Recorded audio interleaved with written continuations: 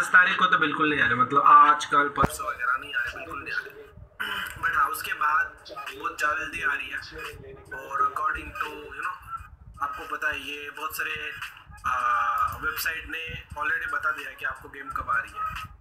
सो so, मुझे नहीं लगता कि मुझे अलग से आपको बताने की ज़रूरत है और मैं बता भी नहीं सकता फ़र्स्ट ऑफ़ ऑल तो बस आप ये समझ लो कि वही है।